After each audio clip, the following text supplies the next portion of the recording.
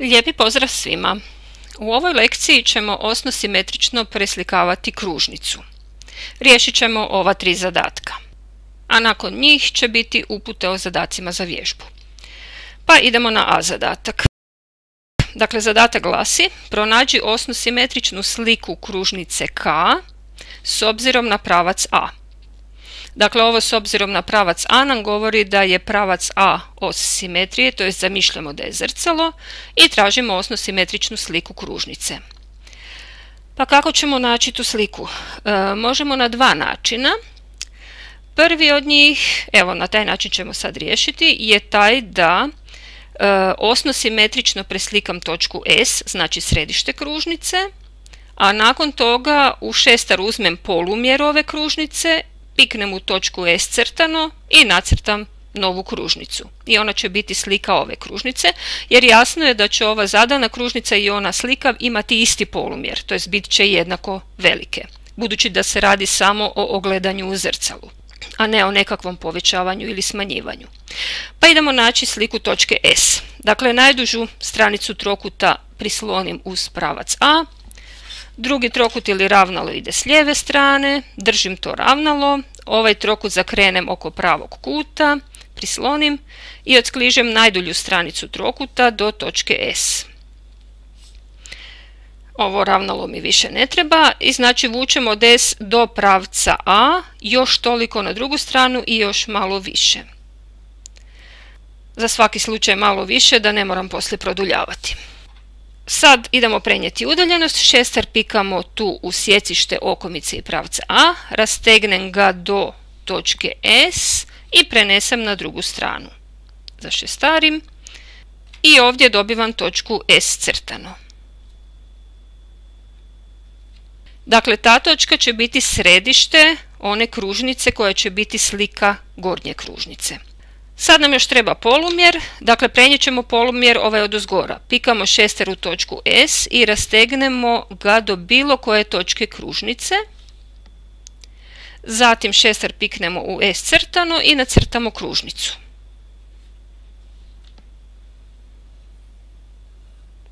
I ova kružnica koju smo tu dobili je osno simetrična slika kružnice K s obzirom na pravac A.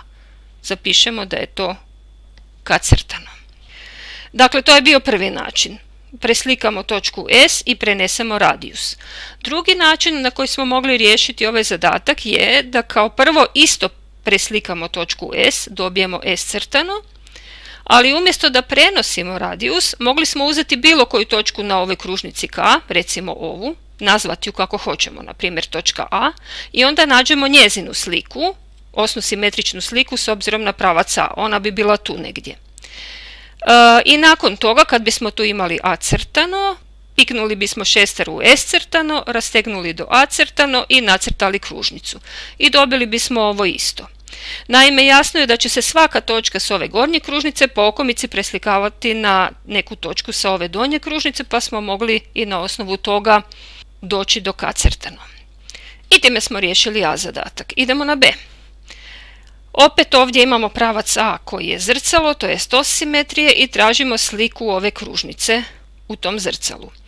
Budući da je dio ove kružnice s jedne strane zrcala, a dio s druge strane zrcala, ista stvar će se desiti i sa slikom. Naime, sve točke sa kružnice koje su tu s donje strane pravca A preslikat će se sa gornje strane, a sve koje su sa gornje strane pravca A preslikat će se sa donje strane.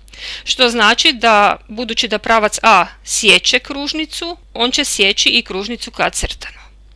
No, ajmo naći sliku kružnice K. Na isti način ćemo kao i u A zadatku. Prvo ću naći sliku točke S, a zatim ću prenijeti radijus. Znači, ajmo naći sliku točke S. Najdulju stranicu trokuta prislonim uz pravac A, Drugi trokut ili ravnalo ide sa lijeve strane, čvrsto držim to ravnalo, a ovaj trokut preokrenem preko pravog kuta, prislonim uz ravnalo i najdulju stranicu odskližem do S, do točke S. Sad iz točke S na pravac A povučem okomicu, odem na istu udaljenost i još malo više i idemo prenijeti tu udaljenost. Šestar pikam u sjecište okomice i pravca A, rastegnem do točke S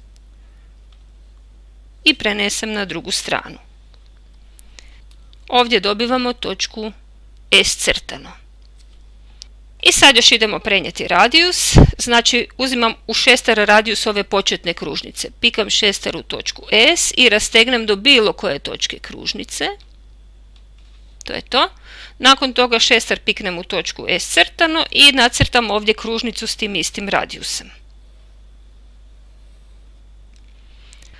I time smo dobili kružnicu K crtano. Ako smo sve precizno nacrtali, onda se kružnica K i kružnica K crtano sjeku u točkama koje leže na pravcu A, kao što je to ovdje slučaj. A ovdje kružnica K i K crtano izgleda da nisam baš precizno nacrtala, isto bi se trebale sjeći na pravcu K. Znači jako je bitno, moje je moj ovaj flomaster malo debel, pa kad ja dobijem točku S crtano, da li je ona malo iznad, malo ispod, gdje ja točno piknem šestar, u tome je problem. Ali kad crtate olovkom, ona je tanja. Ili vam bar treba biti tanka, tako da točno vidite gdje vam je točka S crtano i točno u nju pikajte šestar. I ovime je B zadatak riješen. Idemo na C zadatak. U C zadatku pravac A prolazi točno kroz točku S.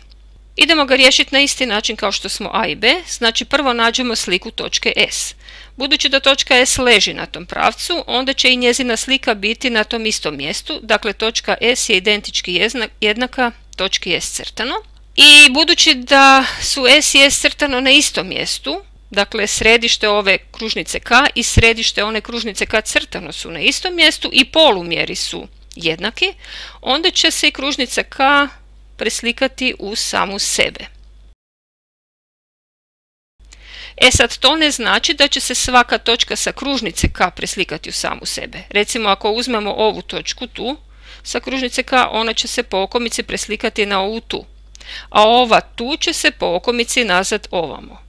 I tako će se svaka točka preslikavati po okomici na istu udaljenost, jedino ova točka će se preslikati u samu sebe i ova tu ali uglavnom sve točke sa kružnice K će se preslikati opet na kružnicu K, dakle i K crtano će biti na tom istom mjestu, identički jednako.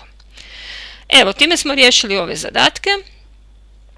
Zadaci za vježbu vam se nalaze u opisu ovog videa, znači na YouTube pogledajte ispod videa u opis, tamo je link na pdf datoteku za koju vam predlažem da si ju isprintate da riješite one zadatke iz nje, a tamo su i rješenja. Pa te svoje zadatke preklopite preko rješenja, okrenite prema izvoru svjetlosti i provjerite da li se moja rješenja podudaraju s vašima. Ako vam je ovaj video bio koristan, lajkajte ga, pretplatite se na moj YouTube kanal, komentirajte video i dijelite moje videe i drugima. Lijepi pozdrav svima!